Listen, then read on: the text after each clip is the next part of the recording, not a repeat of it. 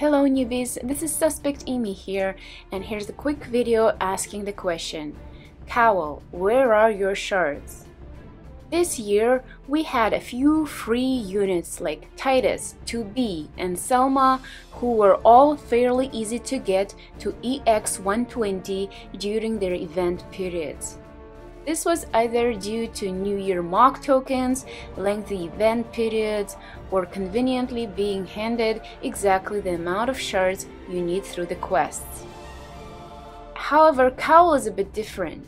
He is a free UR unit where, if you do everything perfectly during his event period, you will end up way short of the amount of shards needed for EX120.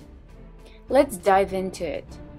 Remember, you need a thousand shards to take Cowell to EX120, and his banners last one week while his shops last two weeks. To start with, the easiest shards you can get are the 120 shards from doing his event quests. Then you get another 120 shards from doing the 2EX event quests you can get 5 shirts for 60 paid Visiore, which is roughly a dollar per day from his shop. If you do this for 14 days, that's another 70 shirts. You can spend 25 million gil every day to get 10 shirts from summoning on his guild banner. Do this for 7 days and that's another 70 shirts. You can spend 10k free Visiore in his shop and snag a cool 200 shards. Doing his character quest will net you another 15 shards.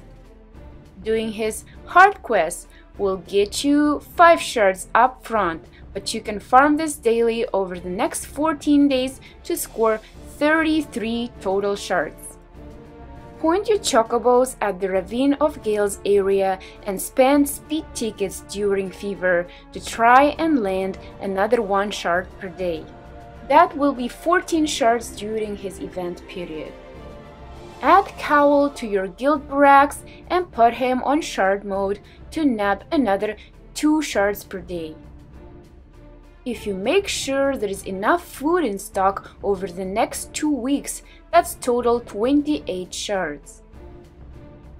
While his store is active, you can pop the Whimsy shop and Spam shop refreshes daily and hope to get his shards there.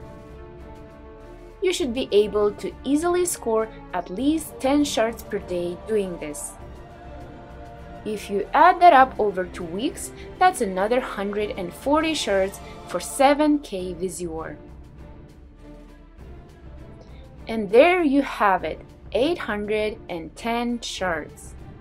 No login bonus, no event bonus, no bingo board, no event mission shards, no daily purchase bonus, no select your shard ticket you are still 190 shards short of getting him to EX120. Granted, there is another pack of 120 shards in his shop for the crazy high price of 6000 paid Visiore, but that's strictly whale territory there. If you have been playing the game for a while, I'm pretty sure you can snag 50 of his shards per day for rainbow medals from the mock shop once you get him to level 99. However, if you're a new player and not a big spender, this is where you would slow build his remaining 190 shards. You can continue farming the barracks, hard quests, chocobo, and weekly elemental shops to get him to EX 120 around 30 two days after his event ends. Should you be upset about this? I don't think so. He is still a free UR and he is actually summonable and farmable after his event period ends, unlike the other free units we received this year. He is one of the few URs in the game without a limit burst and it's not like Wind is the hot meta right now, so you don't need him urgently for your team. I would relax, take a deep breath, and slow build him for the future. If you found this video helpful, please like and subscribe so I can keep doing these types of things. Bye everyone!